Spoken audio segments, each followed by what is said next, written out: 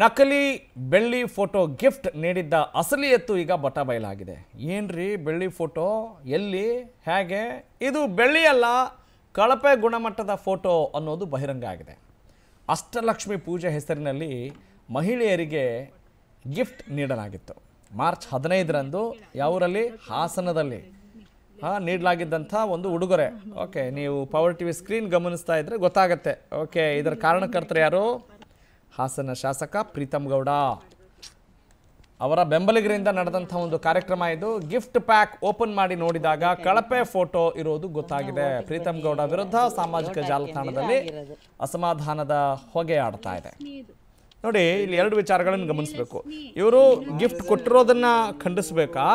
ಅಥವಾ ಇವರು ಕಳಪೆ ಗುಣಮಟ್ಟದನ್ನ ಗಿಫ್ಟ್ ಆಗಿ ನೀಡಿದ್ದಾರೆ ಅಂತ ಇಲ್ಲಿ ಮತದಾರರು ಖಂಡಿಸ್ಬೇಕಾ? ಎರಡನ್ನೂ ಕೂಡ ಗಮನಿಸಬೇಕು. ಬಹಳ ಸೂಕ್ಷ್ಮ ವಿಚಾರ. ಚುನಾವಣೆ ಬರ್ತಾ ಇದೆ ಅಂತ ಹೇಳಿದಾಗ ಹತ್ತಿರ ಇದೆ ಅಂತ ಹೇಳಿದಾಗ ಮತದಾರರಿಗೆ ಆಮಿಷಗಳನ್ನು ಒಡ್ಡೋದು ಮತ್ತು ನೇರವಾಗಿ ಇಲ್ಲಿ ಗಿಫ್ಟ್ ನೀಡಿದ್ದಾರೆ ಅಂತ ಗೊತ್ತಾಗಬಾರ್ದು ಅಂಥೇಳಿ ಬೆಂಬಲಿಗರು ಇಂತಹ ಕಾರ್ಯಕ್ರಮಗಳನ್ನು ಆಯೋಜನೆ ಮಾಡಿ ಒಂದಷ್ಟು ನೆಪಗಳ ಮೂಲಕ ಆ ಪೂಜೆ, ಈ ಪೂಜೆ ಒಟ್ಟಿನಲ್ಲಿ ಎಲ್ಲ ವರ್ಗದವರನ್ನೂ ಕೂಡ ಮತಗಳನ್ನಾಗಿ ಕನ್ವರ್ಟ್ ಮಾಡಬೇಕು, ಪರಿವರ್ತನೆ ಮಾಡಬೇಕು ಅನ್ನೋ ನಿಟ್ಟಿನಲ್ಲಿ ಎಲ್ಲ ರಾಜಕೀಯ ಪಕ್ಷಗಳ ಅಭ್ಯರ್ಥಿಗಳು ಈ ರೀತಿಯಾದಂಥ ಕುತಂತ್ರಗಳನ್ನು ಮಾಡೋದನ್ನು ನಾವು ನೋಡ್ತಾ ಇರ್ತೇವೆ. ಅದರಲ್ಲೂ ಕೂಡ ಗಿಫ್ಟ್ ಕೊಡೋದು ಕೊಟ್ಟಿದ್ದಾರೆ.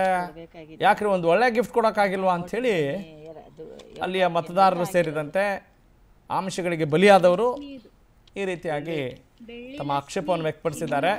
ಮತದಾರರಿಗೆ ಕಳಪೆ ಗುಣಮಟ್ಟದ ಗಿಫ್ಟ್ ನೀಡಲಾಗಿದೆ ಅನ್ನೋದು ಈ ಸುದ್ದಿಯ ಸಾರಾಂಶ.